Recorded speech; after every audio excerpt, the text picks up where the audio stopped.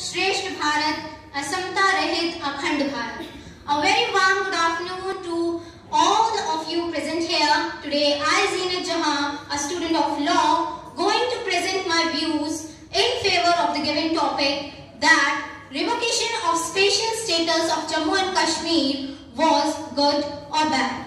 So I am gonna speak my views in the favor of this topic.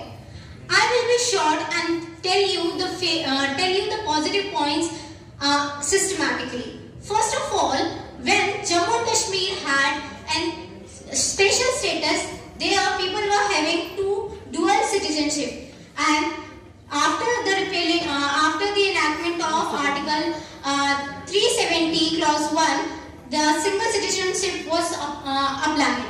The first point which I think is the main was that abolition of two flags. Now, in uh, Jammu Kashmir also have one flag and which increase the feeling of oneness and brotherhood in the whole nation. And also, there were many cases in the past where uh, people uh, living uh, there in the Jammu and Kashmir disown the Indian flag and there were no legal action to take against them. And after the enactment of Article 370 Clause 1, there will be a single flag and single constitution, one law in the whole nation so that we can apply the right to equality to all of you.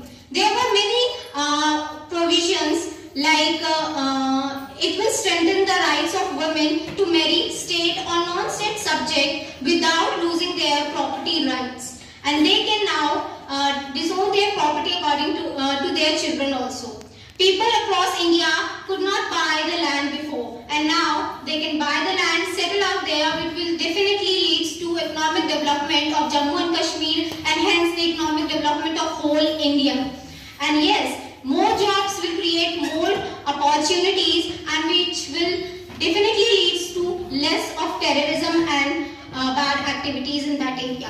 I would also like to answer some of the major points of my eminent opponents uh, so most of them have said that it was not a right me to that because the people of Jammu and Kashmir were not asked.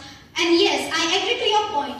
But this can be uh, taken as a wrong way uh, to achieve a good mean. So it may be considered as a wrong way to achieve a good goal. And uh, the second point uh, by my opponent was that there are many states like Sikkim, Nagaland where special, state, uh, special status is provided. Nobody can buy land there. So I would like to answer that. Yes, there is a special status but they don't have a special uh, different constitution. They don't have a different flag. They so they have we have uh, they have some rights like uh, we can't buy property there. So due to environmental reasons and other reasons, but that is a different case from Jammu and Kashmir. So this is what I uh, want to say and the one thing I just can